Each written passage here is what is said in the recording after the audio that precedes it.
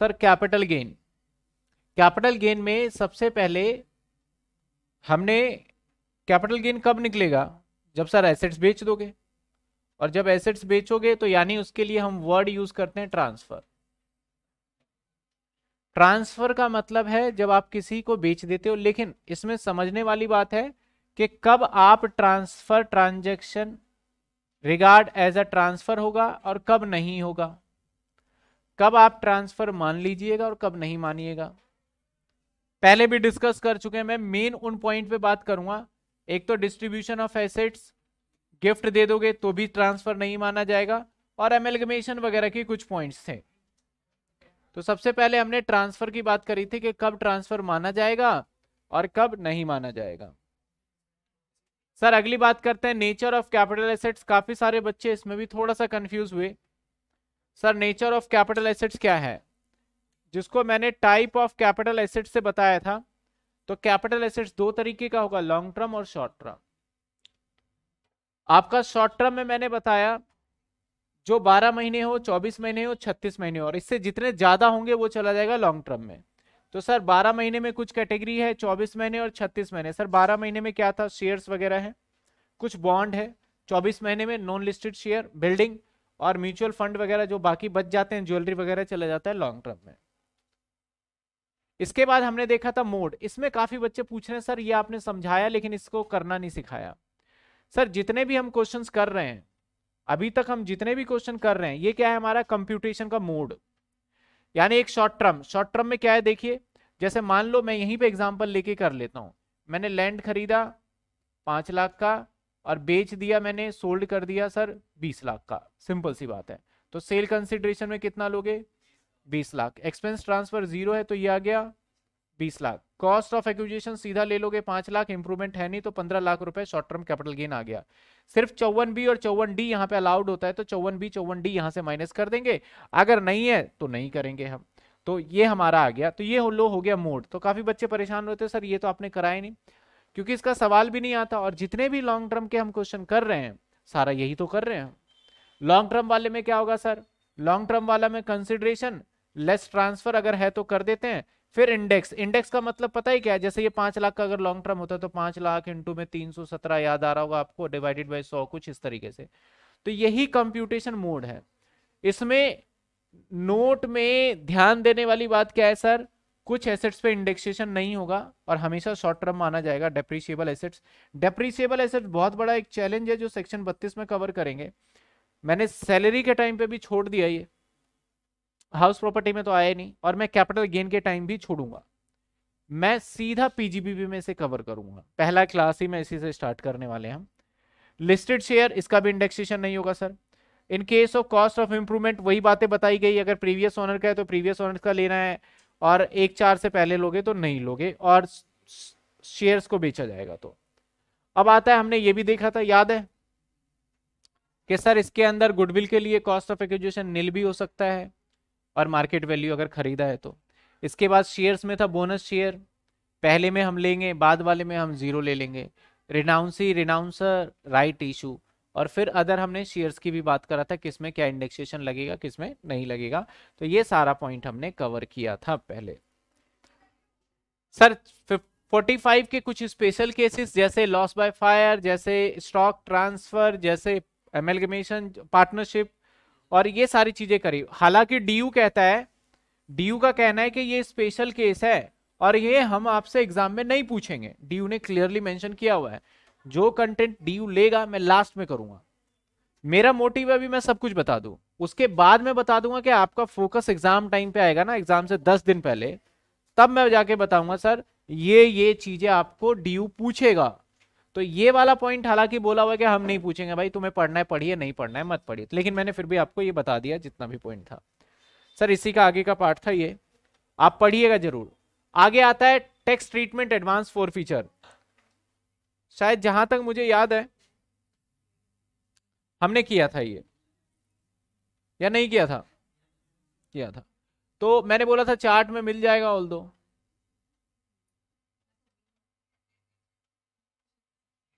इसको अलग कर देते हैं।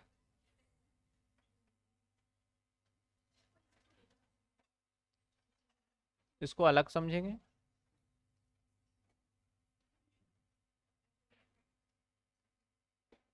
अरे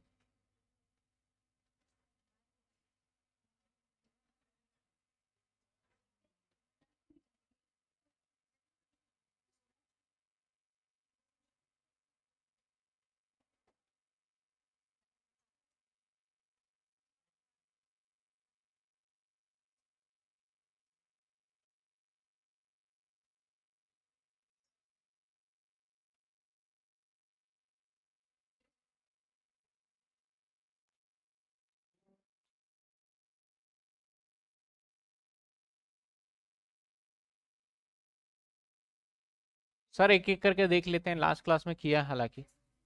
Advance forfeiture sir advance forfeiture में क्या करा था? लास्ट क्लास में एक बीच में क्वेश्चन आया था। उस क्वेश्चन पे हमने एडवांस फोर फीचर देखा था। एडवांस फोर फीचर में क्या था, सर? 2014 की मैंने बात करी थी। जिन बच्चों ने नोटिंग किया है फाइन जिन्होंने नोटिंग नहीं किया टेन ईयर के अंदर है आपके। कहता है कि टैक्स ट्रीटमेंट अगर फोर फीचर किया आपने एक चार दो से पहले एक चार दो हज़ार चौदह से पहले तो amount forfeiture always reduce from cost of acquisition before doing indexation यही तो बताया था मैंने कि इंडेक्सेशन करने से पहले आप उसमें से माइनस करिए और फिर इंडेक्सेशन करिए, चौदह से पहले है तो।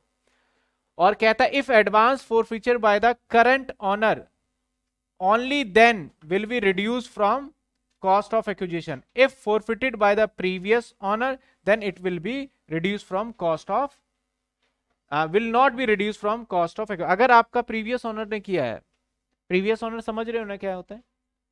जैसे पिताजी ने अपने बेटे के नाम घर कर दिया तो बेचेगा तो बेटा ही कैलकुलेशन करेगा, लेकिन पिताजी प्रीवियस ऑनर है।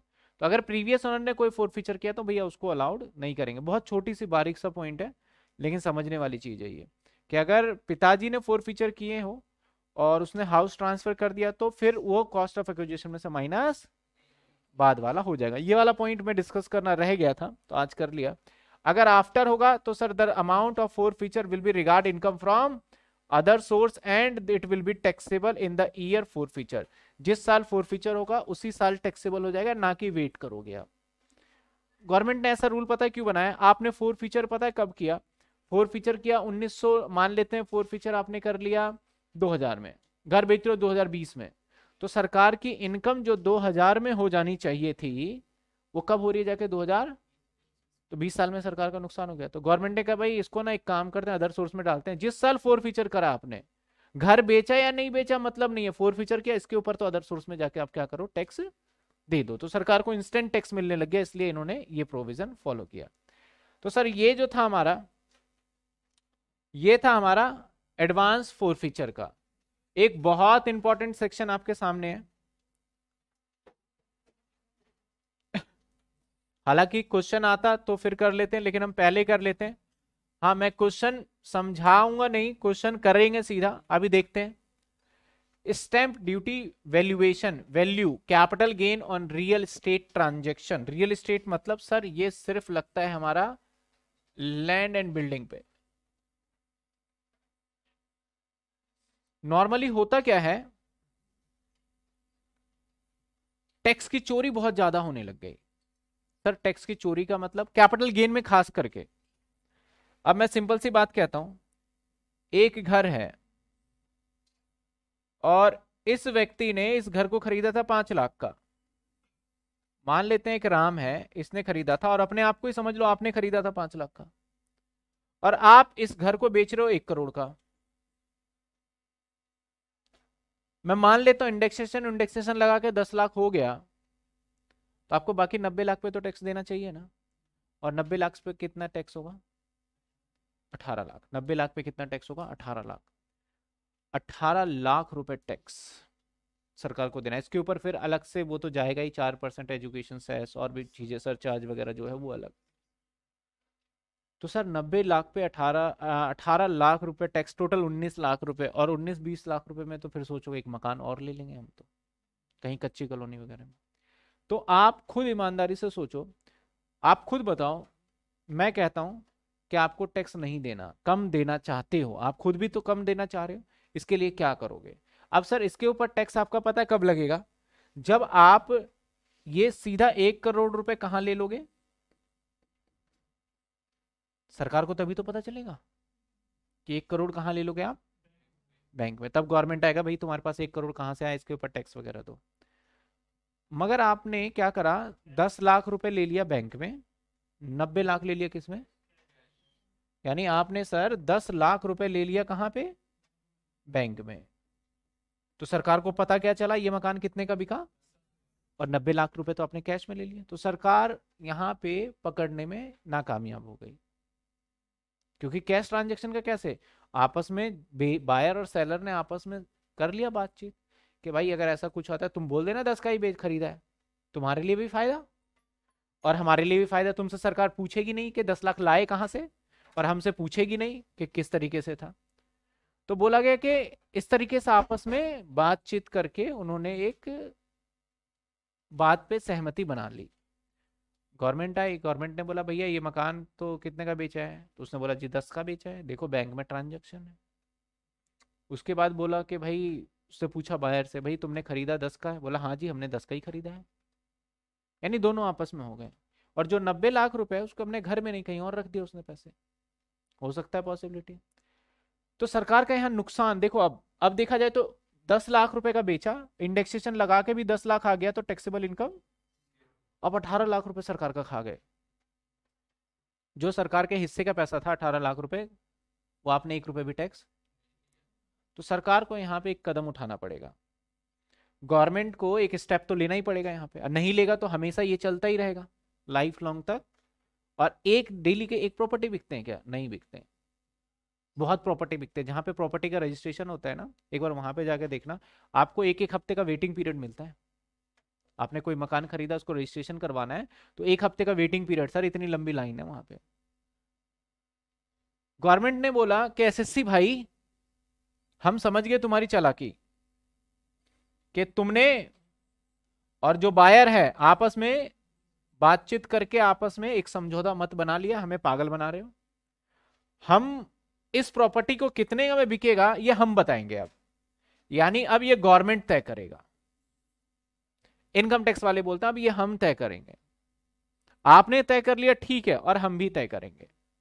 यानी हम एक ऐसा ऑफिसर अपॉइंट करेंगे, जिसे बोलेंगे जो कि बहुत ज़्यादा इस फ़ील्ड के अंदर एक्सपर्ट है। मतलब प्रॉपर्टी वगैरह को जल्दी से वो आकलन कर लेता है, जो कि बिल्कुल एक्सपर्ट है, हर जगह घूमता है, सही गणित लगा के सब कुछ बता देता है। और प्रॉपर्टी का रेट पता है कैसे तय होता है? सर्कल रेट होता है इनका। आप देखोगे ना तो हर एरिया का अपना एक सर्कल रेट चलता है। तो कभी प्रॉपर्टी अगर आपने देखा होगा तो घर पे देखना प्रॉपर्टी के पेपर पे सर्कल रेट के अकॉर्डिंग तय होता है और वो गवर्नमेंट डिसाइड करता है। तो जो होता है ना, वो स्टैम्प ड्यूटी वैल्यूअर होता है, stamp duty valuer. Basically stamp duty का मतलब है प्रॉपर्टी का रेट। क्योंकि आपको जितने का प्रॉपर्टी खरीदोगे, उसके ऊपर ये इनकम टैक्स तो 20 परसेंट जाएगा ही है। इसके अलावा आपको स्टैम्प ड्यूटी भी पेड करना पड़ता है पाँच परसेंट। रजिस्ट्रेशन करवाने पे फीमेल के केस में एक परसेंट का रिलैक्सेशन होता है मेल के केस में एक परसेंट ज़्यादा होता है।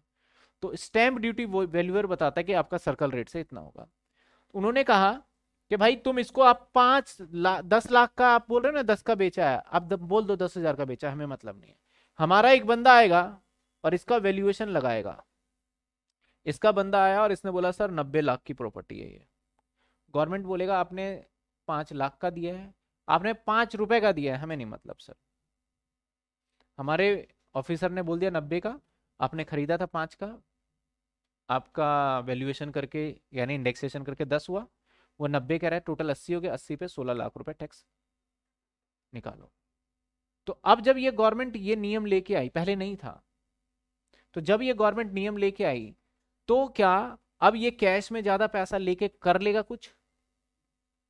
अब ये पूरा का पूरा ही कैश में ले ले, तब भी कुछ नहीं कर सकता, क्योंकि जैसे ही प्रॉपर्टी रजिस्टर होगा किसी और के नाम पे, फटाफट गवर्नमेंट को अगर डाउट हुआ तो गवर्नमेंट क्या करेगा? अपना वैल्यूअर बुलाएगा और उससे वैल्यूएशन करा के और अपने हिसाब से वो क्या करेगा? टैक्स को वसूल लेगा।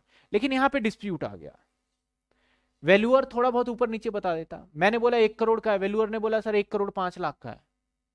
मैंने बोला, जब मैंने लिया ही एक करोड़ अकाउंट में, देख लो कैसे एक करोड़ पाँच लाख, मैंने पाँच हज़ार डिस्काउंट दे दिया, पाँच लाख रुपए, क्या करोगे तुम? तो यहाँ पे डिस्प्यूट हो गया थोड़ा बहुत। तो गवर्नमेंट ने बोला, भैया एसएससी तुम ज़्यादा टेंशन मत लो। आप जितना रेट बताओगे और वैल्यूअर बताएगा। तो 10 परसेंट का अगर वेरिएशन रहा ना दोनों में तो हम आपकी बात सच मानेंगे। जैसे मैं कह रहा हूँ कि एक लाख का प्रॉपर्टी बेचा या एक करोड़ का एक लाख का प्रॉपर्टी बेचा और जो गवर्नमेंट अधिकारी है वो कह रहा है, एक लाख दस हज़ार का प्रॉपर्टी बेचा। मतलब दस परसेंट का वेरिएशन बता रहा है। मेरी बात में और सरकार की बात में कितने परसेंट का फ़र्क आ रहा है? तो सरकार बोलता है, भैया, इतना ज़्यादा हम स्ट्रिक्ट नहीं होंगे। दस परसेंट, पाँच परसेंट तो ऊपर नीचे चलता है। हम आपकी बात को ऊपर रखते हैं। आपकी प्रॉपर्टी एक लाख की बिकी बात खत्म। लेकिन स्टैंप ड्यूटी वैल्यूअर बोलता है कि, सर, एक लाख ग्यारह हज़ार का बिका है। तो डिफरेंस कितने का आ गया? बोला, अब दिक्कत है। हमने एक रेट फिक्स कर दिया, दस परसेंट तक तो हम आपकी ही बात मानेंगे। दस परसेंट से जैसे बियॉन्ड जाएगा तो हम किसकी बात मान लेंगे? अपनी बात मानेंगे वैल्यूअर का, और वही डिसाइड करेगा कि प्रॉपर्टी कितने का था, और इसी पे टैक्स देना पड़ेगा। अब हम आपकी बात कोई भी नहीं मानेंगे। तो बड़ी छोटी सी बात ये है। तो ये भी ठीक था प्रोविज़न पहले पाँच परसेंट था, पुरानी किताबों में देखोगे तो पाँच परसेंट मिलेगा, अब बढ़ा के कर दिया दस परसेंट। तो सर कहता है स्टेम ड्यूटी कैसे लगेगा? If asset sold more than the stamp duty valuation अगर आपने एसेट्स को बेचा है, आपका एस इसे एस भी बोलते हैं स्टेम ड्यूटी वैल्यू एस बोलता है कि दस लाख का है, और आपने बोला है, सर सेल्स जो है वो ग्यारह लाख का है। यानी जो गवर्नमेंट का अधिकारी है, वो बोलता है कि, सर, ये दस लाख का है। आपने बोला, मैंने ग्यारह का बेचा आप बताओ।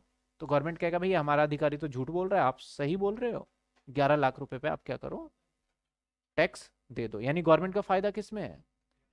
ग्यारह में। तो गवर्नमेंट ही तो बोलता है, अगर आपका एसेट सोल्ड करते हो more than stamp duty value, यानी एसडीवी से ज़्यादा तो सेल कंसिडरेशन आपका एक्चुअल सेल वैल्यू माना जाएगा। ये बात समझ में आई आपको? लेकिन प्रॉब्लम कब आया? जब उससे कम में बेचा जाएगा। कहता है, in case stamp duty valuation exceed ten percent, sale consideration stamp duty will be taken. यानी एसडीवी बोलता है, सर 11 लाख है। मैंने बोला, सर, सेल्स सेल्स 9 लाख है। तो बीच का डिफरेंस परसेंटेज कैसे निकालोगे? एक ये भी चैलेंज है। सर डिफरेंस कैसे निकालते हैं? इन दोनों का डिफरेंस कितना है? दो लाख? नौ लाख, ग्यारह लाख कितना है? अब इसके बेस ईयर मान लोगे। अपना जो सेल है ना, वो मानोगे। सेल क्या है? इन टू में हंड्रेड करिए। ये परसेंटेज कितना चेंजेस है, ये निकलेगा। डेल्टा लिख देता हूँ। तो बताइए क्या चेंज आ रहा है यहाँ पे? मेरे पास तो कैलकुलेटर ही नहीं रहता है यहाँ पे। सर वीडियो लैक हो रही है। अच्छा वीडियो लैक हो रही है। रिफ्रेश मारते हैं। बताइए क्या चेंज आया परसेंटेज मेरे हिसाब से 10 से तो काफ़ी ज़्यादा आएगा। कितने परसेंट आया? सर 22 परसेंट का चेंजेस आ गया। यानी आपकी बात में और सरकार की बात में 22 परसेंट का फ़र्क आ गया है। कहता है क्या in case of stamp duty value यानी एस डी एक्सीड हो जाए 110 परसेंट, एक को छोड़िए 10 परसेंट से ज़्यादा एक्सीड हो जाए देन सेल कंसिडरेशन क्या मानोगे? Stamp duty value as a consideration यानी अब आपको क्या, किस पे मानना पड़ेगा? इसके ऊपर। ये आपका इरेलीवेंट आप झूठ बोल रहे हो इसका। समझ में आई बात आपको? अगर आपने सरकार के स्टैम्प ड्यूटी वैल्यूएशन से ज़्यादा बोल दिया, तब तो समस्या नहीं। सरकार बोलती कोई बात नहीं, चलने दो। लेकिन अगर कम बोल दिया तो कम में भी चलेगा, लेकिन 10 परसेंट के अंदर अंदर और 10 परसेंट से जैसे एक्सीड करोगे, तब बात नहीं बनेगी। चलो, एक और एग्ज़ाम्पल ले लेता हूँ। एस बोलता है, सर, आपकी प्रॉपर्टी की वैल्यू दस लाख। और आपने बोला, सर, हमारे प्रॉपर्टी की वैल्यू नौ लाख। या फिर मैं इसको चेंज कर देता हूँ। आपने बोला दस लाख और उसने बोला ग्यारह लाख। ग्यारह या थोड़ा और कम कर देता। आपने बोला, सर, दस लाख। और स्टेम ड्यूटी वैल्यूएशन बोलता है, सर, नहीं, दस, सर, दस लाख नहीं, दस लाख पचास हज़ार।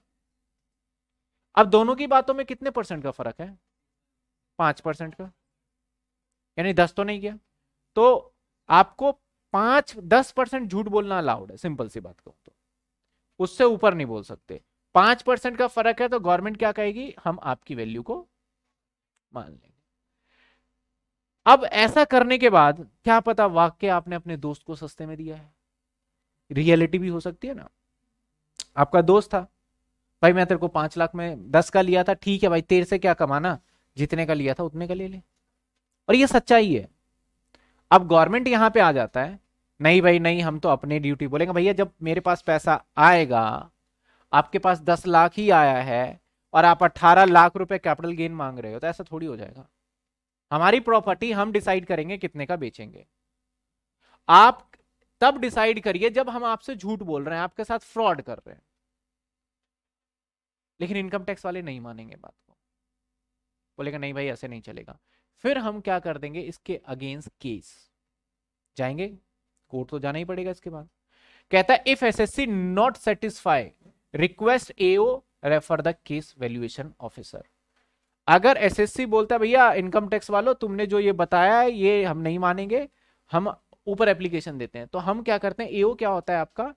एसेसिंग uh, ऑफिसर होता है ठीक है? इनकम टैक्स के अंदर पोस्ट होता है एस होता है एसटीओ कहते हैं एओ होता है और अलग अलग कमिश्नर होता है डिप्टी कमिश्नर अलग अलग होता है।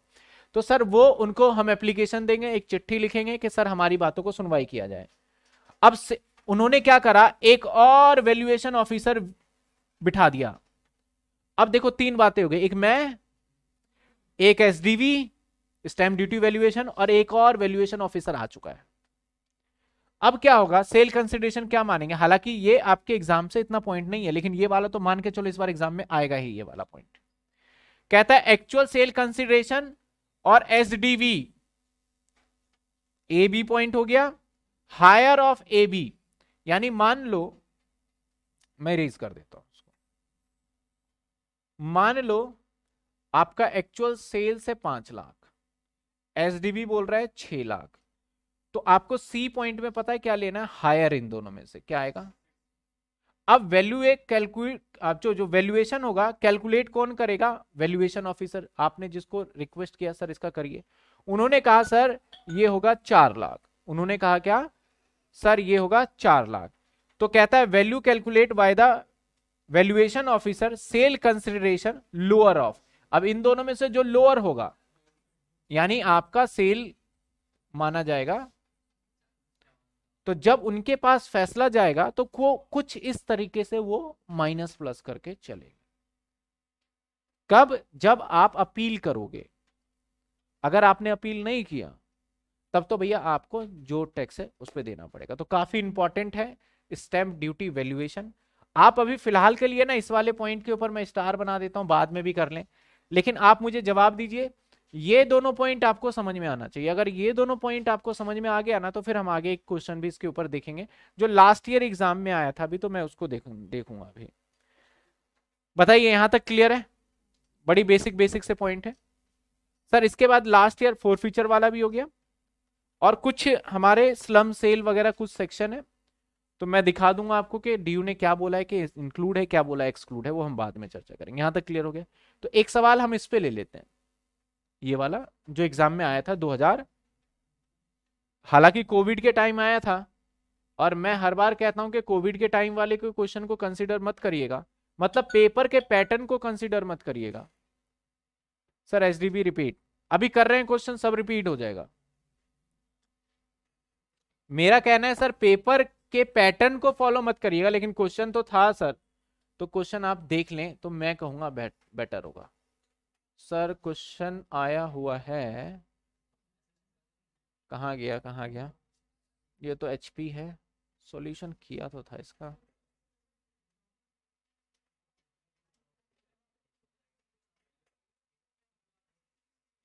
ये होगा दो हज़ार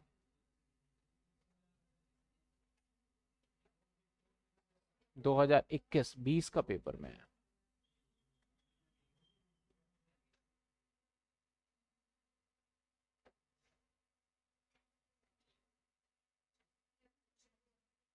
नहीं बीस के पेपर में भी आया हुआ है।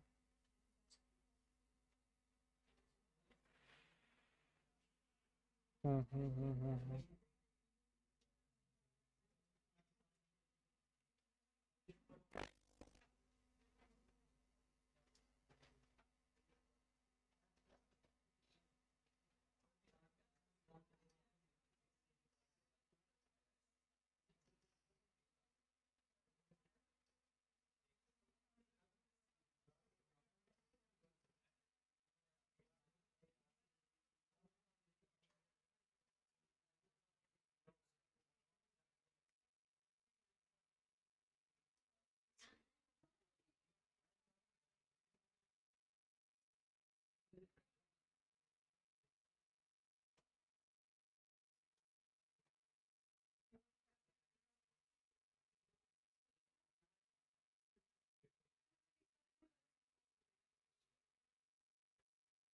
चलिए सेकंड पार्ट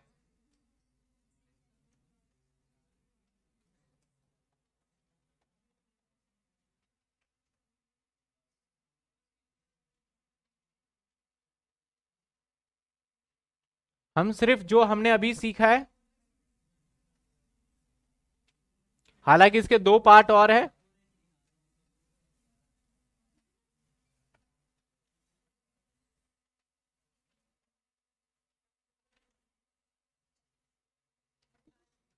आपके सामने जितना क्वेश्चन है, इसी का आंसर करने वाले हैं हम।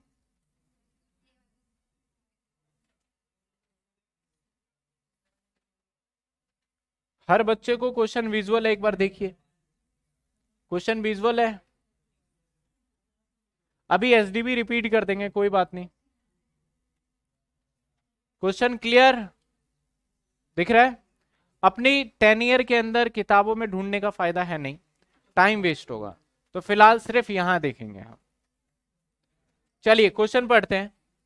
कहता है he had purchase a vacant land cost साठ लाख। सर, इसने एक खरीदारी की है।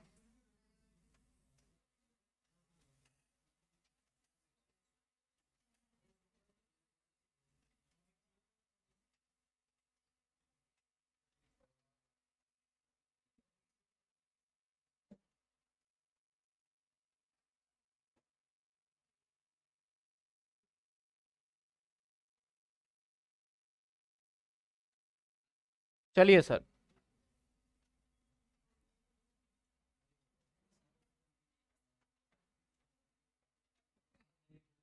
जो लिखना होता है, ऊपर लिख लेते हैं। कहता है, एक इसने साठ लाख रुपए का परचेज किया मैं इधर लिखता भी जाता हूँ।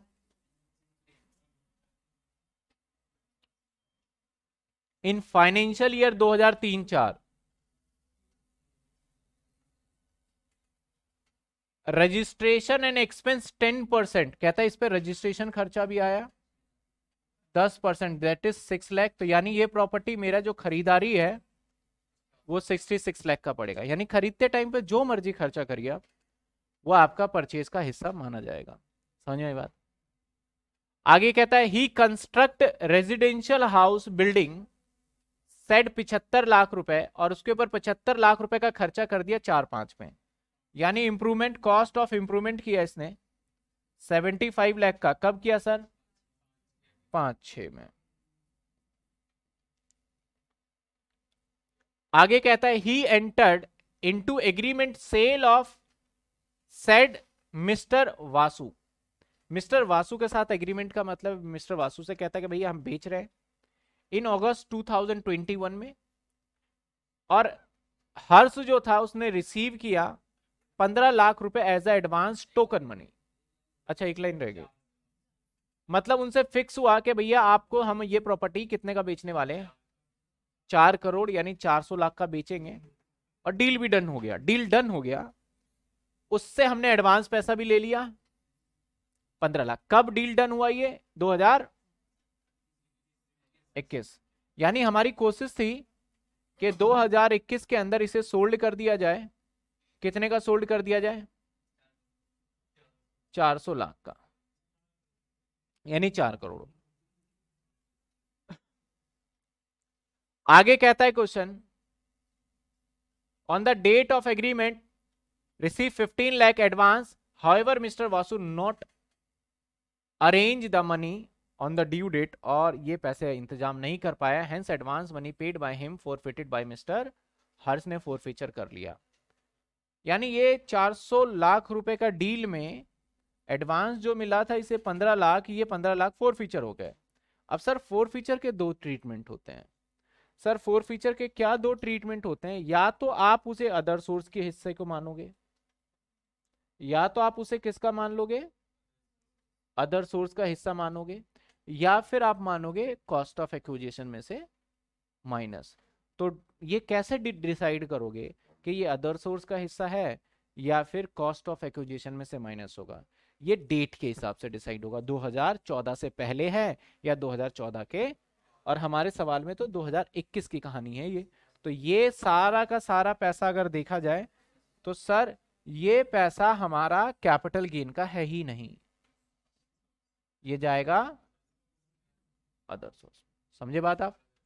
यानी जो इतनी सारी कहानी हमने पढ़ी है, ये सिर्फ़ आपको पजल करने के लिए दिया जाएगा एग्ज़ाम में। इसका कोई रोल नहीं है, जो हमने अभी तक देखा है थोड़ा बहुत। सर, आगे क्या कहता है? ये फिर से एक व्यक्ति को पकड़ के लाया और एग्रीमेंट कर लिया राठी के साथ और बोलता, भैया, तेरे को तो अब हम 420 में बेचेंगे।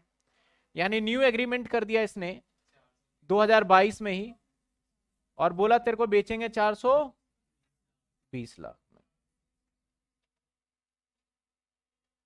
The sale deed was executed, registered on 15 दो 2000 और 15 दो 2022 में। ओके, पैसे भी आ गए। For the agreed consideration but stamp duty value लेकिन जो स्टैम्प ड्यूटी वैल्यूएशन ऑफिसर है of the property was fix उसने बोला, भैया, इस प्रॉपर्टी में मुझे थोड़ा डाउट लग रहा है। 420 का बेचा मेरे हिसाब से तो कितने का होगा? यानी सरकार कहती है कितने का होगा? 450 का। आप कहते हो कितने का है? 420 का। तो जो मैं यहाँ पे सेल कंसिडरेशन लूँगा,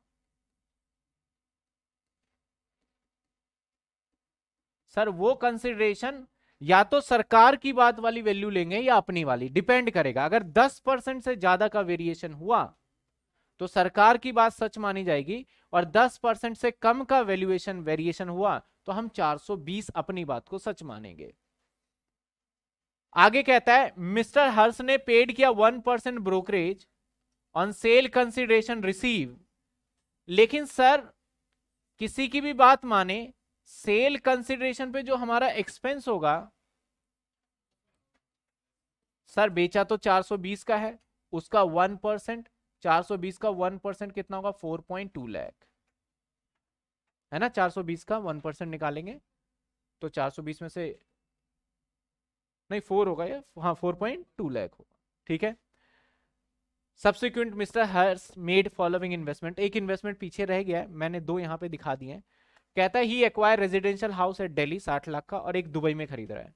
तो बोला था, भैया, घर खरीदना है, लेकिन अपनी मर्ज़ी से नहीं इंडिया में ही खरीदना है, ये ध्यान रखना बात को। कंफ्यूज करने के लिए क्या बोला? दो घर खरीदा, बच्चा देखेगा, घर खरीदा है, घर बेचा है, दे दो 54 में एग्जामेशन लेकिन घर कहाँ खरीदा है, ये भी जानना। तो ये वाला जो इसने खरीदा है ना, ये दुबई तो बोला, भैया, तू दुबई जाके रहे, इसका कुछ नहीं बेनिफिट देंगे। अब इंडिया में जो खरीदा, उसका डिडक्शन मिलेगा 54 के अंदर और कुछ इन्वेस्टमेंट और क्या। तो मुझे तो सबसे पहले जानने में, मैं आपसे जानना चाहता हूँ कि सेल कंसिडरेशन क्या लू मैं? 420 लू या 450 आप बताइए, फटाफट कमेंट में बताइए। 420 या 450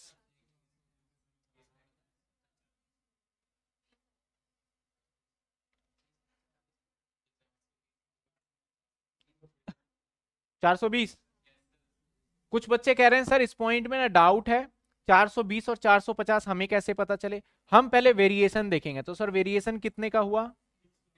और 30 लाख में जितने का हमने बेचा, वो डिवाइड में रखेंगे तो कितने का? 420 और इनटू में 100 करेंगे।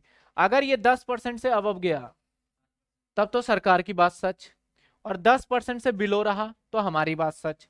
तो कितने परसेंट आ रहा है? सेवन परसेंट आ रहा है। यानी दस परसेंट से ऊपर गया नहीं तो सरकार की बात अब हो गई झूठ।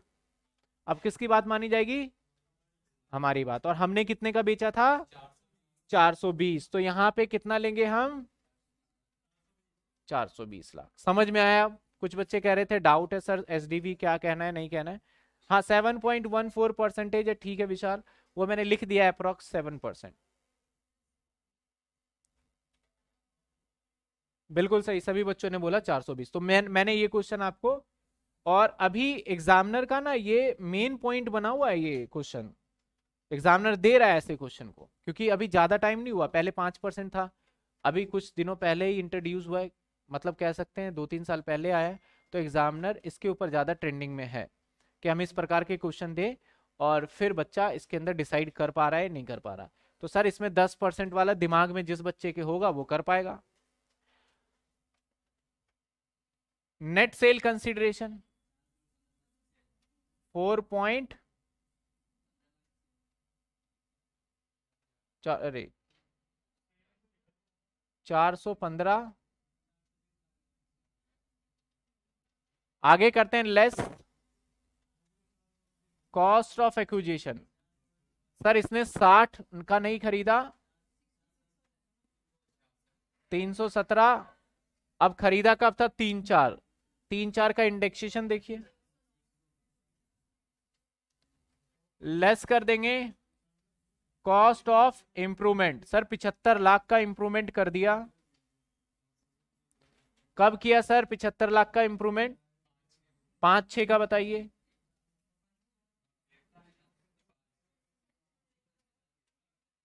पाँच छह का बताइए।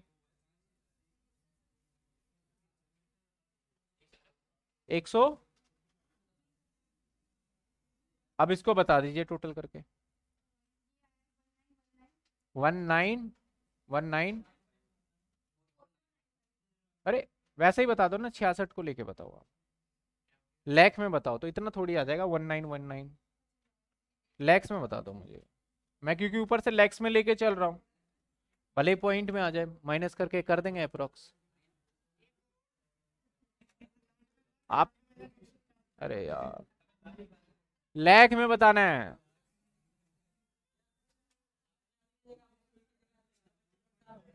ये। के क्यों आएगा? हाँ तो चार सौ चार लाख बीस हज़ार ही तो होगा। One point nine nine one ना?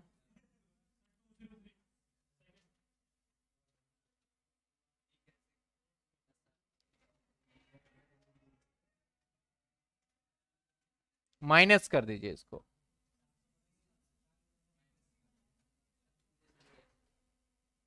माइनस करिए।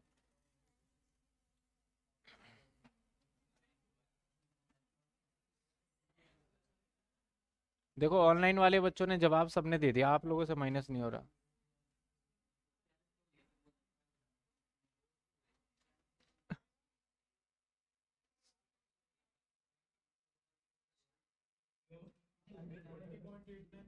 कितने?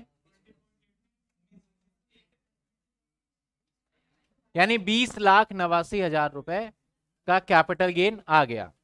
अब इसने इन्वेस्टमेंट कितना किया सर? साठ लाख का। तो माइनस कर सकते हैं सेक्शन 54 या नहीं? कर दीजिए सर। तो इसका टैक्सेबल इनकम क्या बन गया? मैंने हालाँकि यहाँ किया। मैं एक बार क्वेश्चन में दिखा दूँ। ये क्वेश्चन थोड़ा बड़ा भी था। कहता था इसने सब्सक्राइब एनएचआई बॉन्ड भी किया। और इसके अंदर ए पार्ट के अंदर देखा जाए ना तो इसने ज्वेलरी वगैरह भी कुछ किया था इसने। डिस्ट्रॉयड हुआ, जो मैंने बताया था कि his stock machinery was damage destroyed by fire accident loss WDB मैं सिर्फ़ बी पार्ट की बात कर रहा हूँ, कुछ बच्चों को क्वेश्चन अगर दिखता है तो आप ये समझ जितना हमने सीखा है, उतना ही पार्ट कवर किया है।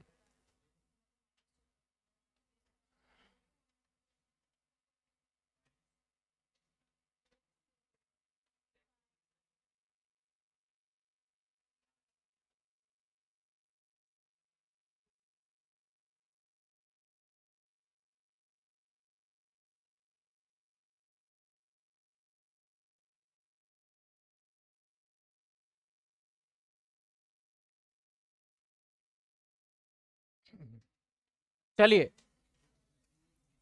और कुछ सवाल देख लेते हैं।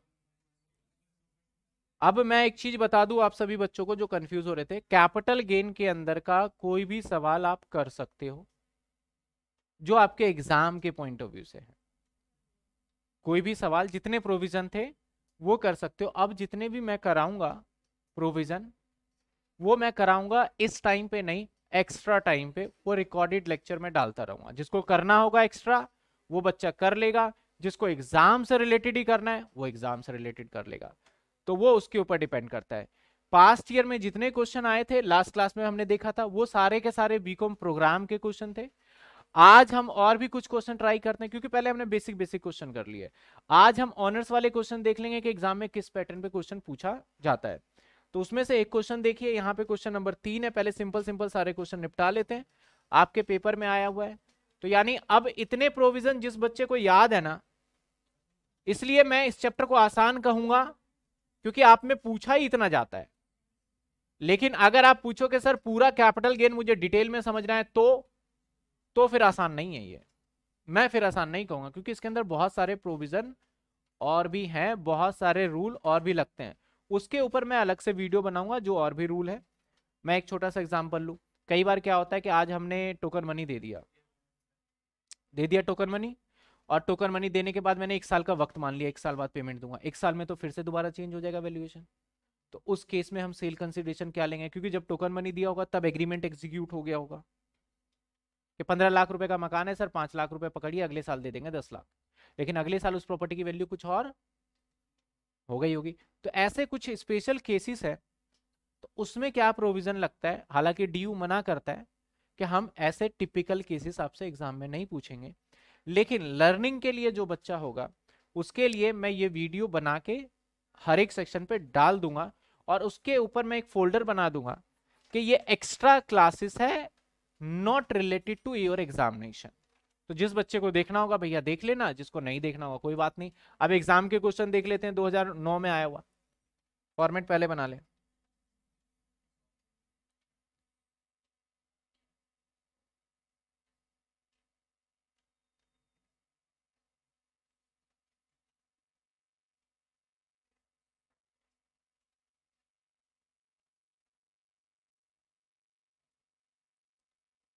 कहता है, मिस्टर, एक एक्स जो है डेट ऑफ़ बर्थ दे दिया। भाई डेट ऑफ़ बर्थ का क्या करेंगे? तेरा प्रॉपर्टी का डेट चाहिए हमें तो। कोई काम है इसके डेट ऑफ़ बर्थ का? कभी कभी पढ़ सकता है, अगर टैक्स लाइबिलिटी पूछ ले। उम्र साठ साल से ऊपर है, कम है, तब पढ़ता है काम हमें कहता है परचेज वन हाउस यानी इसने एक घर खरीदा। सर कब खरीदा? 1982 किसी काम का डेट नहीं। कितने का? सत्तर हज़ार का। अच्छा सात लाख। चलो, सात लाख। कुछ खर्चे इसने करा। ही इनकर्ड इंप्रूवमेंट निन्यानवे में। नौ लाख का, सर, ये किसी काम का नहीं। इट्स मार्केट वैल्यू ये काम का है। Sir market value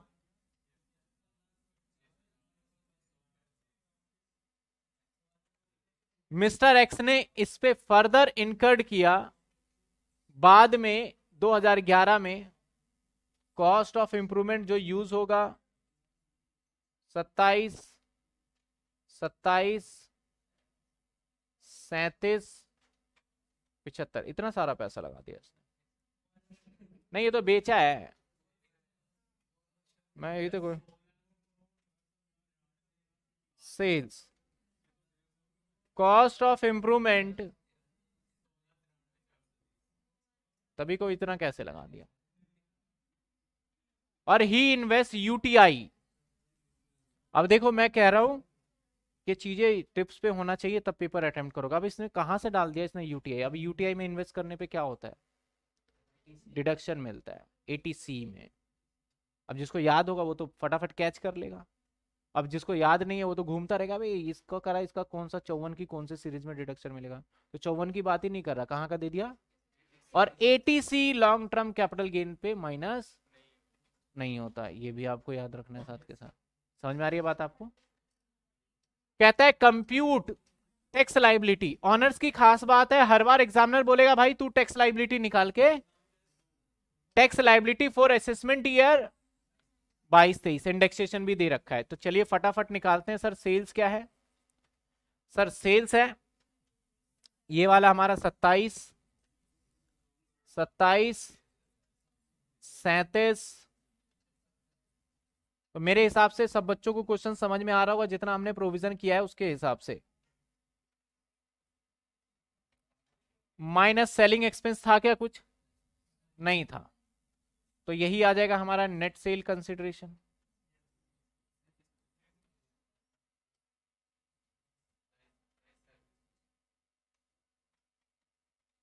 minus cost of तो सर फेयर एफ़ लेंगे, जो कि आया था तिहत्तर.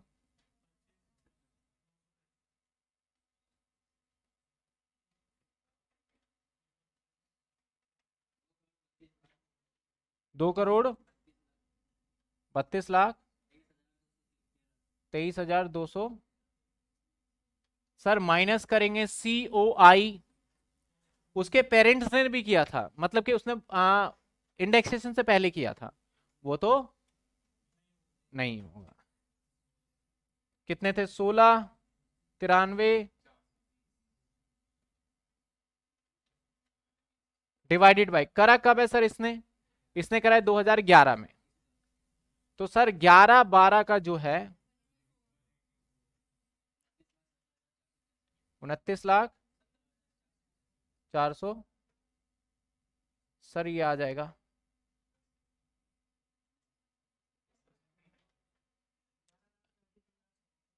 कितने? ग्यारह लाख तो नहीं आएगा।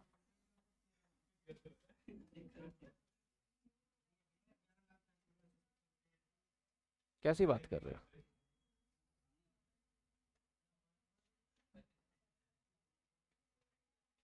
बताइए कितना आ रहा है, देखिए।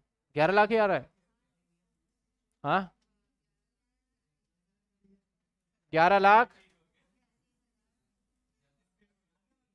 आगे। Thirty three.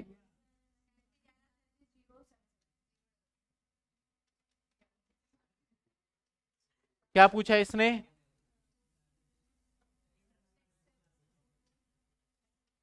हर क्लास में बोलता हूँ, पंद्रह तारीख तक कोर्स खत्म होगा, बच्चे फिर पूछते हैं कि कब होगा। चलिए, अब हमें निकालना है टैक्स लाइबिलिटी तो सर टैक्स लाइबिलिटी में क्योंकि ये लॉन्ग टर्म कैपिटल गेन है तो यहाँ पे स्लैब रेट का काम नहीं है। शॉर्ट टर्म में स्लैब रेट लगता है, यहाँ पे स्लैब रेट का काम नहीं है, यहाँ पे सिंपली लॉन्ग टर्म पे लगता है हमारा कितने परसेंट सर, यहाँ पे ये इन्वेस्टमेंट जो एक लाख का है, इसे माइनस नहीं करेंगे। नहीं तो मैं क्या करता, अब टोटल इनकम मैं निकाल के बता दूँ। इसको थोड़ा छोटा करके दिखा देते हैं आपको। इसको इस साइड कर देते हैं। हालाँकि होगा क्या? आपका टोटल इनकम वैसे हम टोटल इनकम कैसे निकालते थे? इनकम फ्रॉम मैं कैपिटल गेन ले लूँगा। जो कि आपने बताया ग्यारह, तैतीस। और फिर हमारा आ जाता था ये ग्रॉस टोटल इनकम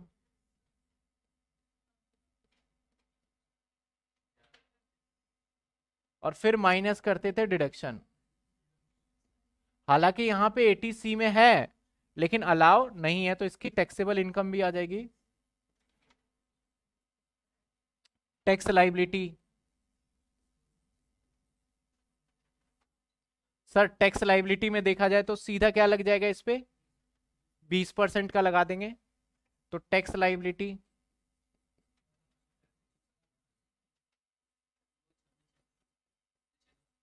कितने?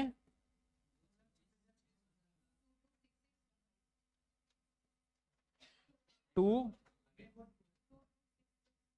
प्लस कर देंगे education cess higher education cess जो कि कितने परसेंट है? ये तो लगना है, बताइए। टोटल क्या आ गया टैक्सेबल जोड़ दीजिए।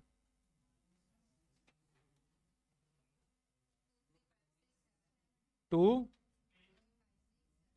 फाइव सिक्स सर ये टैक्सेबल ये पूरा सवाल हो गया। सर इसमें नोट देना है क्या? बिल्कुल नोट देना पड़ेगा कि एटीसी का डिडक्शन यहाँ पे अवेलेबल नहीं होता, इसलिए हमने यहाँ पे माइनस नहीं करा।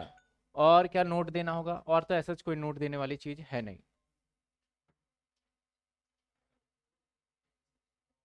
Three three nine two three बच्चे बोल रहे हैं। यही है मेरा, थ्री थ्री नाइन। मैंने तो टू थ्री निकाला है।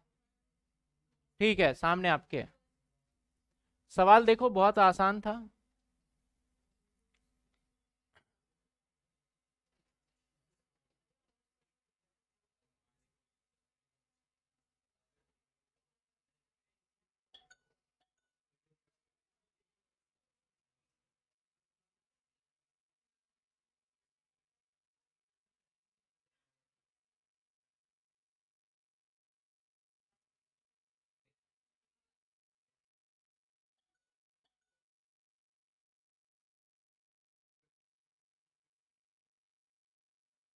उसका बात करते हैं अभी सक्षम। उसकी बात करते हैं, मुझे पता है वो।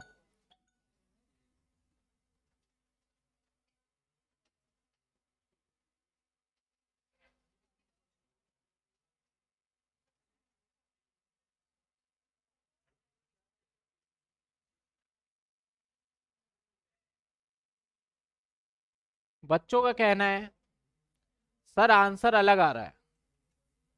मुझे पता है वो बीस परसेंट नहीं है। अभी मैं आपको बीस परसेंट सिर्फ़ सिखा रहा हूँ। कहा गया क्वेश्चन?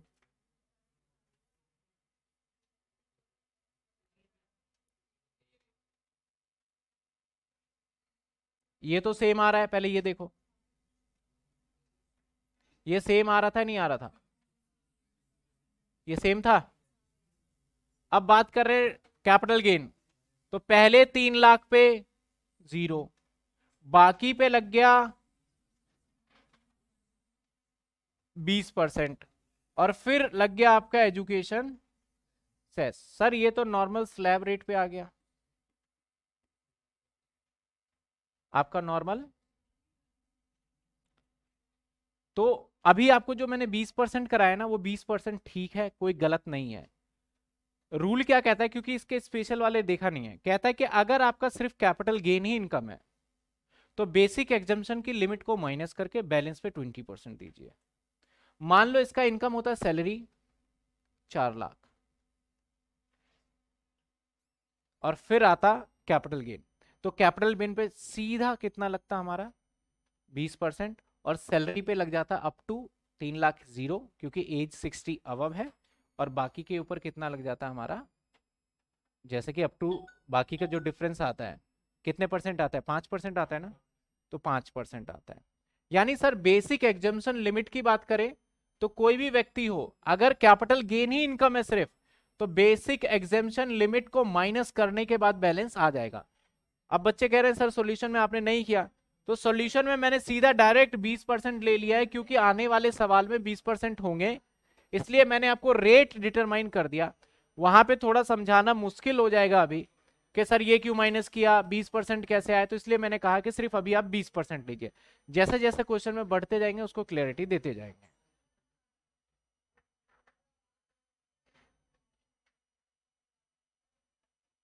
यस लास्ट में हम बात करेंगे आईपी यूनिवर्सिटी के जो बच्चे हैं, उनका हम बाद में बात करते हैं अभी लास्ट में, कि कैसे पढ़ना है, नहीं पढ़ना है।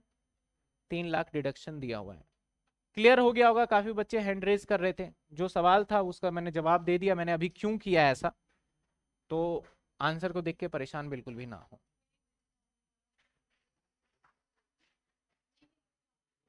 हाँ अभी दिखाएँगे, पहले इसको देख लेते हैं।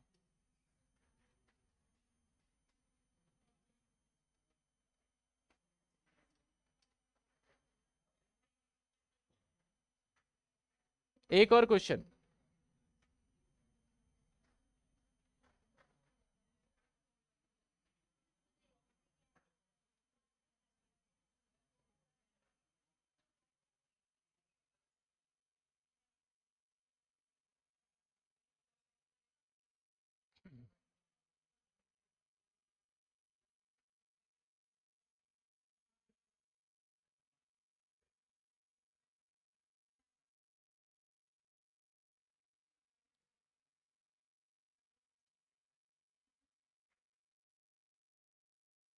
क्लास ओवर तो अभी तो चलने ही दो, अभी तो स्टार्ट ही किया है हमने।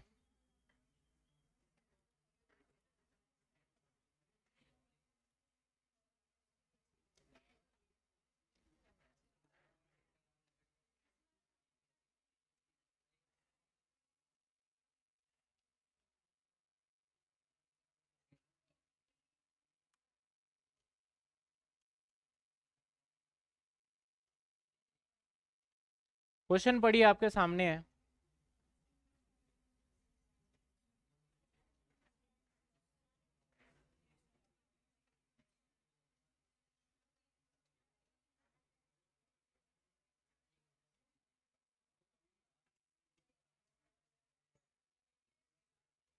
बहुत बढ़िया क्वेश्चन आपके सामने।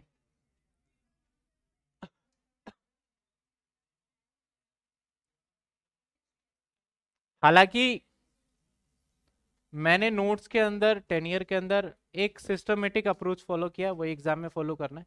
यहाँ पे मैं तोड़ तोड़ के इस सवाल को करूँगा, ताकि आपको समझ में आ जाए। हर पॉइंट को अलग अलग लेके चलेंगे। कहता है, सर एस एक रेजिडेंट है इंडिया का, इसने परचेज किया था हज़ार अनलिस्टेड इक्विटी शेयर एक सौ तिरपन का। तो परचेज हज़ार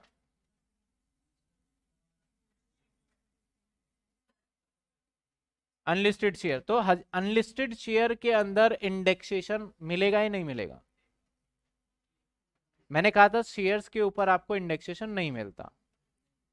कौन से वाले शेयर लिस्टेड वाले पे। अगर अनलिस्टेड हुआ तो तो तो मिलेगा सर इंडेक्सेशन बड़ी सीधी सी बात है।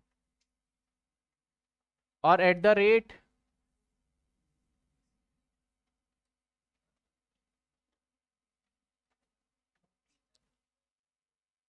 कब खरीदा सर? 25 दस 2003 में।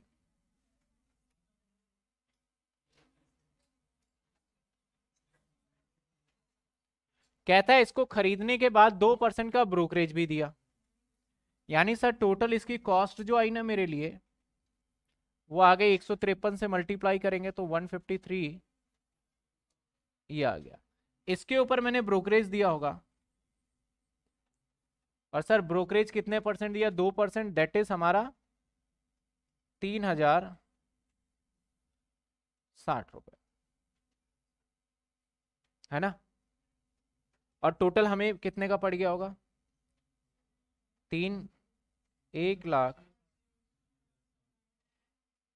पहले यहाँ तक देखिए, मैंने पूरा क्वेश्चन पढ़ा नहीं है, सिर्फ़ मैंने यहाँ तक को कर दिया है। ये समझ में आया पहले बात। धीरे धीरे करेंगे क्योंकि इस क्वेश्चन में काफ़ी कुछ है। कहता है कि एक एक 2008 में एक एक 2008 में इसे बोनस मिला allotted 500 share by the company on the basis of share every two share held यानी कहने का मतलब है, सर एक एक 2005 में कंपनी ने बोनस दिए। और बोनस कितने दिए? तो एग्जामिनर ने बता दिया 500 कई बार तो एग्जामिनर बताता ही नहीं, बोलता कि हमने बोनस दिए हैं। कितने बोनस बनेंगे आप निकालिए। तो यहाँ पे 500 बता दिया और साथ के साथ ये भी बता दिया, दो जिसके पास थे उसको एक दिए। तो सर, आपके पास बेसिकली हज़ार थे।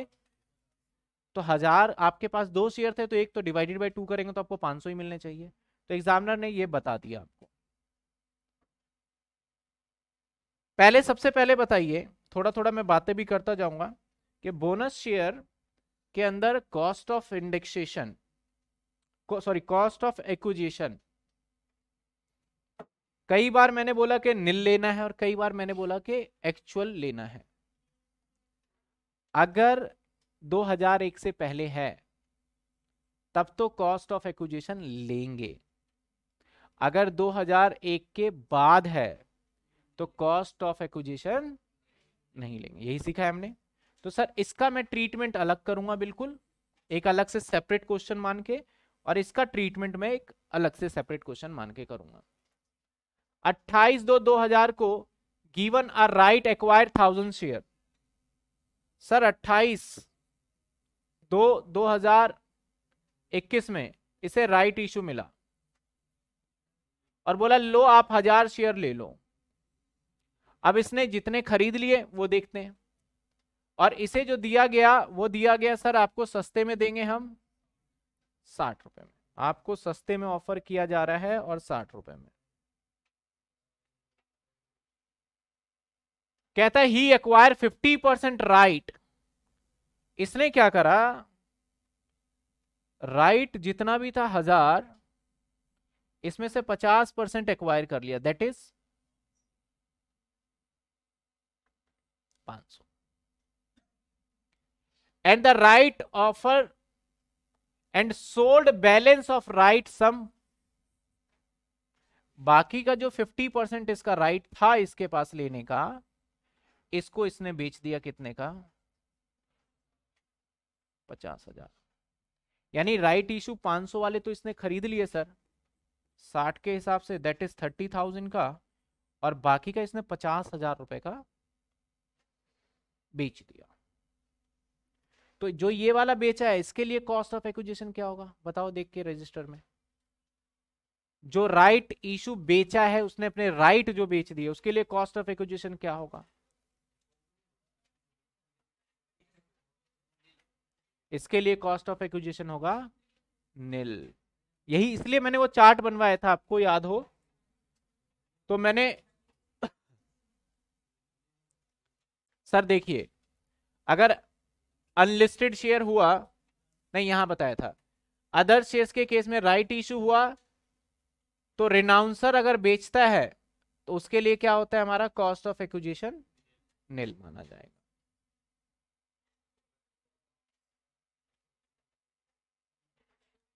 चलिए, आगे कहता है ही सोल्ड ऑल शेयर 2022 में। तो मुझे कोई बच्चा बताएगा इसके पास टोटल शेयर कितने हो गए?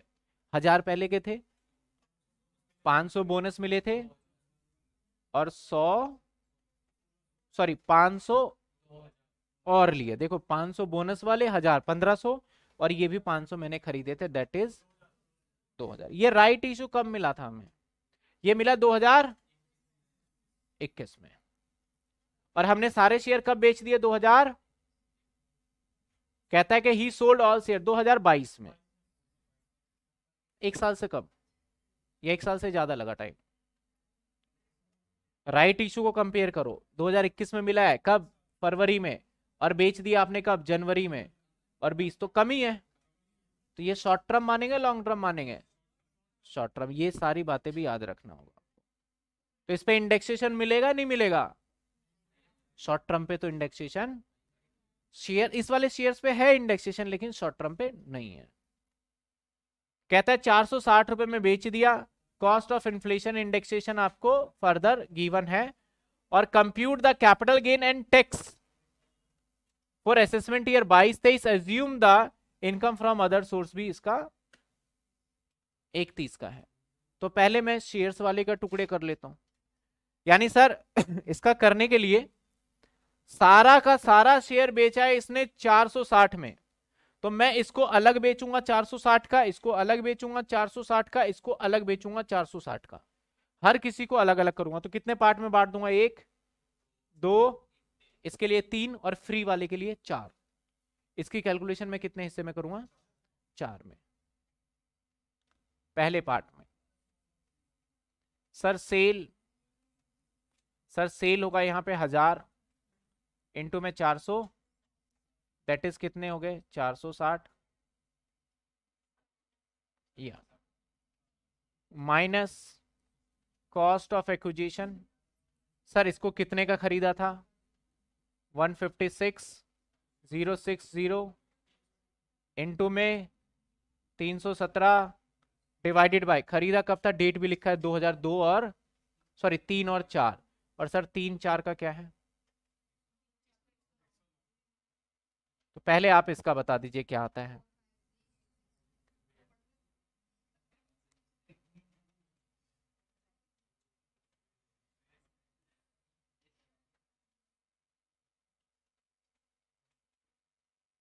बताइए four five.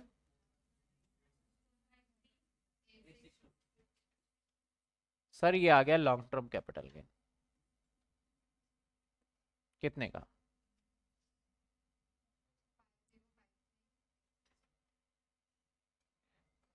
Five zero five three eight अरे, ये बहुत ज़्यादा हो गया तो। माइनस करना है ये तो। छ हज़ार। छ हज़ार।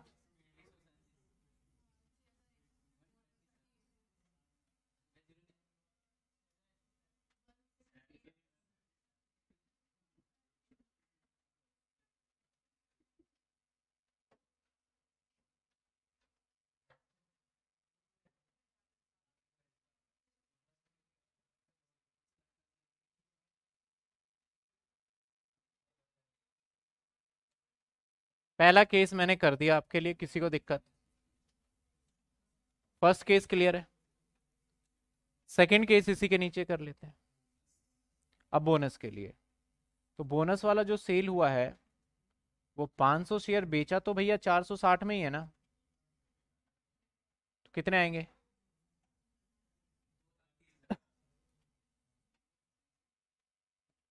माइनस करेंगे। Cost of acquisition.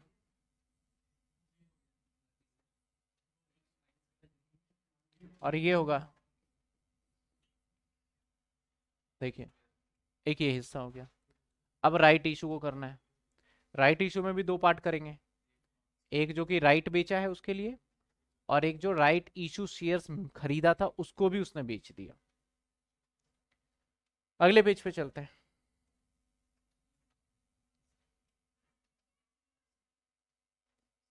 Right issue वाले को। सर, सेल, सर 500 शेयर और 460 तो दो lakh less cost of acquisition indexation कर दे क्या? नहीं करेंगे। क्यों? क्योंकि शॉर्ट टर्म कितने का लिया था? दैट इज़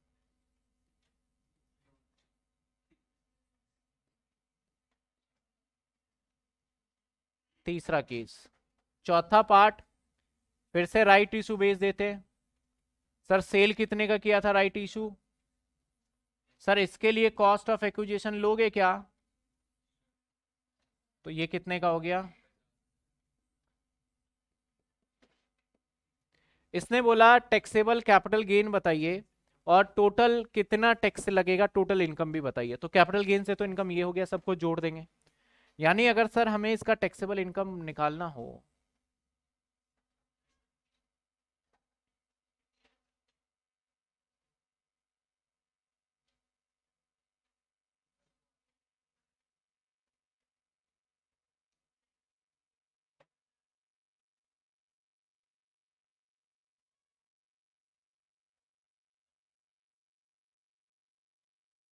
चलिए sir.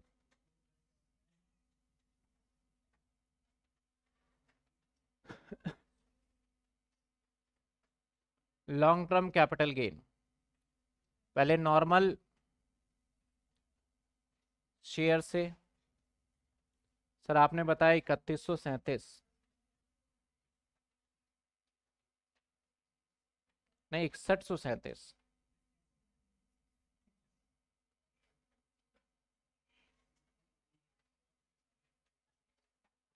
प्लस बोनस वाले से भी हुआ। बोनस वालों से दो तीस। टोटल हो गया ये।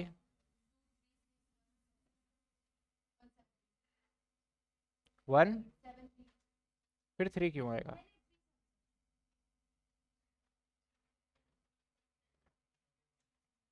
S T C G right issue से। राइट इशू से। सिक्स के बाद है। राइट इशू से। सर, राइट इशू से पहले से दो लाख। और जो उसने राइट बेचे हैं, उससे सर पचास। कितने आगे और इनकम फ्रॉम अदर सोर्स। तो सवाल में देखेंगे, लास्ट में कहता है कि अदर सोर्स से इनकम एक तीस है। तो वन थर्टी पहले यहाँ तक देखिए किसी को कोई डाउट फिर टोटल इनकम जिसको हम ग्रॉस टोटल इनकम भी कह देते हैं। करिए प्लस छ लाख। पहले यहाँ तक देखिए किसी का कोई डाउट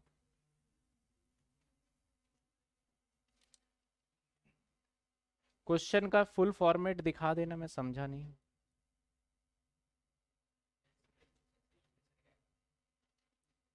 क्या कह रहे हैं ये बच्चे?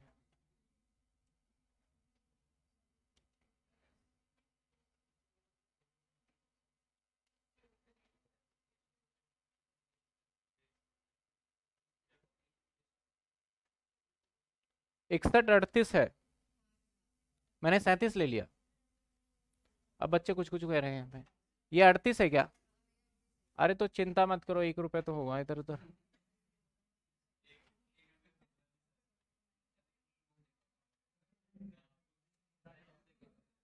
चलो। मेरा मेन पर्पस था सर इस क्वेश्चन में कॉम्प्लिकेशन है।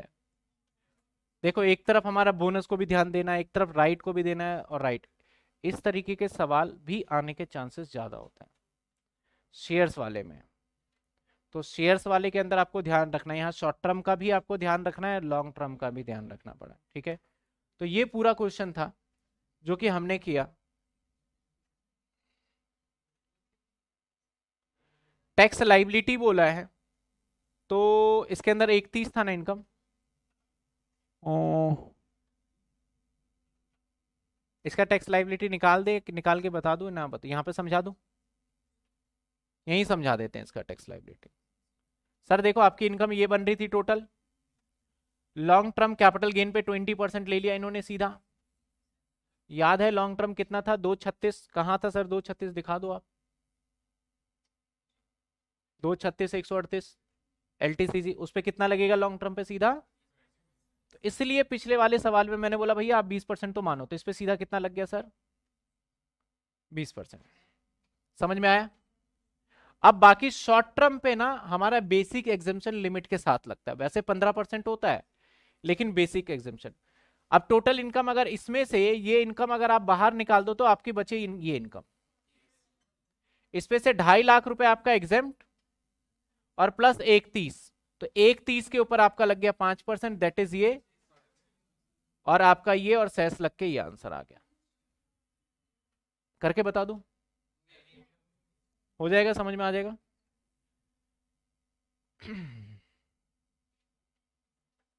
सर, मेरी बुक में क्वेश्चन में वैल्यू अलग है। हाँ कोई बात नहीं वैल्यू अलग हो सकता है। आप कॉन्सेप्ट देखिए देखिए, कुछ बच्चे कह रहे हैं, सर, हमारी बुक में क्वेश्चन वैल्यू अलग है, कोई बात नहीं है। सामने मैंने क्वेश्चन तो दिखाई दिया, आप इसके हिसाब से समझिए, और जिसके बुक में वैल्यू अलग है, अच्छी बात है, आप दोबारा करके उसको अपने आप से चेक कर सकते हैं।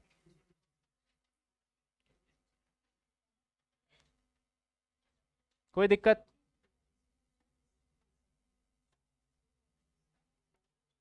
सर, अगर ढाई लाख एक रुपए हो तो क्या टैक्स लगेगा? बिल्कुल। एक रुपए पे लगेगा, लेकिन एटी सेवन ए बचा लेगा आपको। वो ज़ीरो कर देगा। पाँच लाख तक ज़ीरो है कहने के लिए।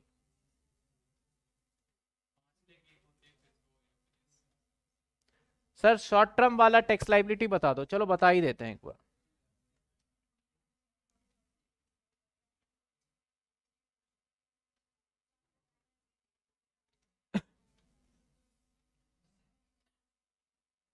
टैक्स लाइबिलिटी सर, यहाँ पे दो तरीके का इनकम है। छ लाख सोलह हज़ार एक सौ अड़तीस। इसके अंदर दो तरीके का इनकम है, एक एल टी सी जी, एक एस टी सी जी और एक हमारा और है, जो कि मैंने अलग अलग कैटेगराइज कर रखा है। सर, इसके ऊपर क्या, कहा गया कि 20 परसेंट टैक्स लगेगा और नथिंग।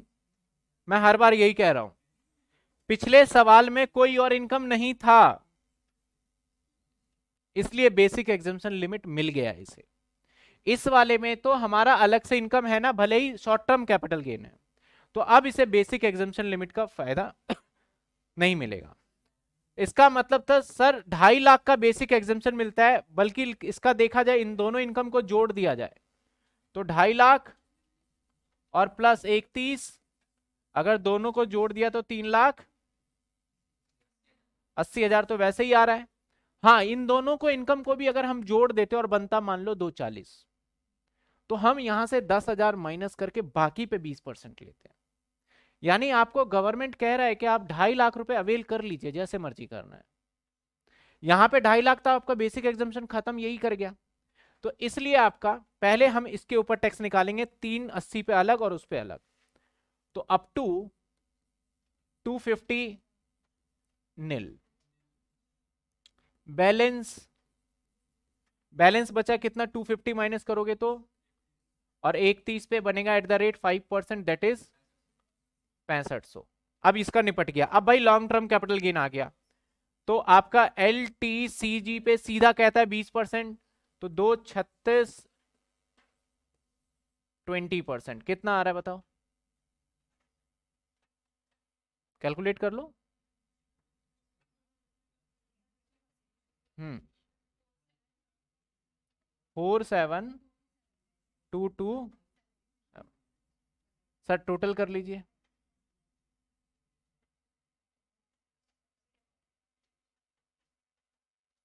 कितने आ गए? सैतालीस, पाँच। बावन। तिरपन, सात सौ। अब इसमें प्लस कर देंगे। हायर एजुकेशन सेस चार प्रतिशत। कितने? Two two two one four nine. Plus कर दीजिए। पचपन हज़ार आठ सौ।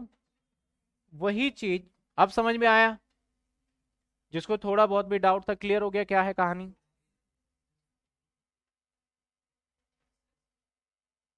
अदर सोर्स जुड़ गया ना इसमें इकतीस।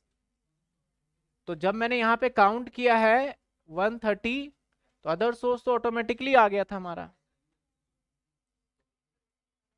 यही बातें आपको यहाँ सॉल्यूशन में कहा गया है कि इस तरीके से हमने निकाला है। सिंपल सी बात है, ठीक है? मैं और सवाल को अगर देखूँ तो पांचवा सवाल, जो कि बड़ा सिंपल है। तो मैं आपको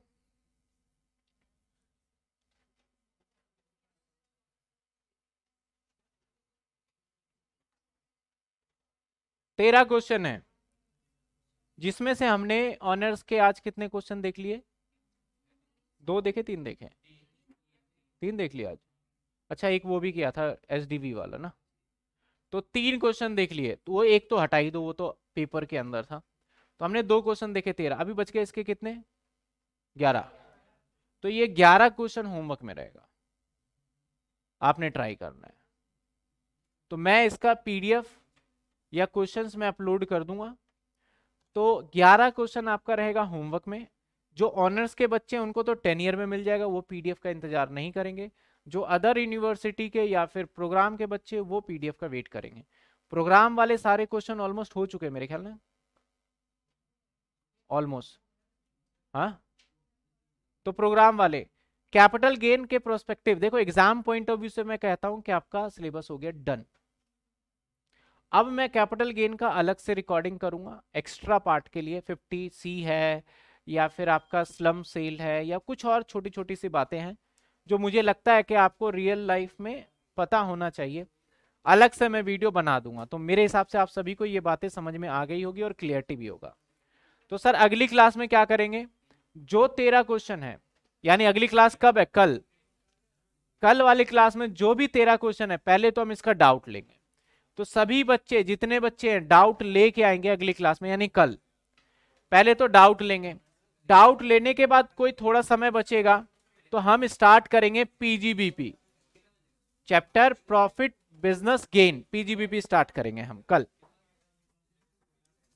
सर, मेरी बुक में लॉन्ग टर्म में क्वेश्चन में टेन परसेंट टैक्स लिया है। पहले टेन परसेंट हुआ करता था अब रिवाइज हो गया है शेयर्स पे।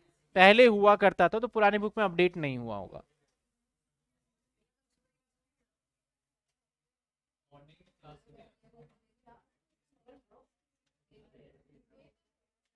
डिडक्शन की वीडियो डिडक्शन वाले चैप्टर में मिलेगी आपको।